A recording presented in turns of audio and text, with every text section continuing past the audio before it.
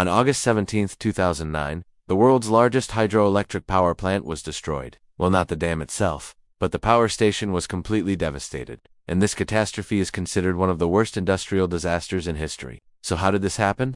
It all started at 8:13 a.m. local time when there was a catastrophic failure of turbine number 2. The massive 920-ton rotor tore apart violently while spinning at 1500 revolutions per minute. Along with the turbine cover, which was launched skyward, this created a massive opening through which pressurized water from the penstock gushed into the machinery.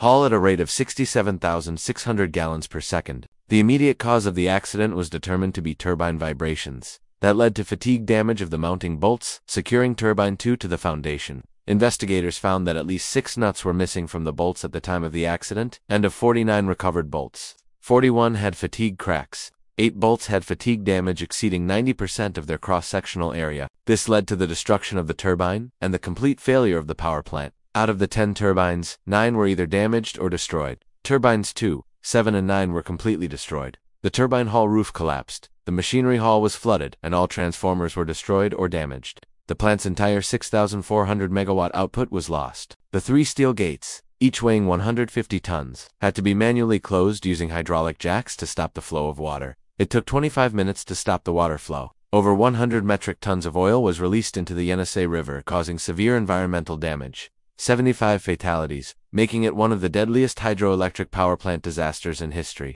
Many workers were in the turbine hall for maintenance work when the accident occurred. Normally, only 12 people staffed the building, but over 100 were present that day. The disaster caused widespread blackouts in the region, forcing major industrial users, such as aluminum smelters, to switch to diesel generators. The Siberian Power Network lost 10% of its capacity. Repair work was completed in 2014 at a cost of over $1 billion. The accident was attributed to poor maintenance practices, design flaws, and the pressure to operate turbines in unsafe power bands following a fire at another hydroelectric plant. Although the dam structure itself remained intact, the Sayano-Shushenskaya accident stands as one of the most devastating hydroelectric power station disasters in modern history, completely destroying what was the 12th largest hydroelectric plant in the world by average power generation. Thanks for watching. Subscribe for more.